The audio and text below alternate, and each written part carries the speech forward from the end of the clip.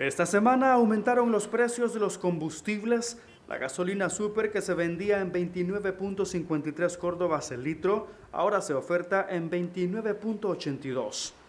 Mientras tanto, la gasolina regular pasó de 28.68 córdobas a 29.28 la presentación de un litro.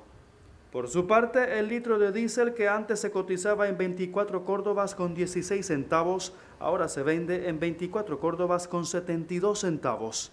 El gas licuado de petróleo mantiene su precio en comparación a la semana anterior. Esta semana se mantuvo, viendo bien ahí, porque tienen ahí los, los precios, 1.179.25 el de 100.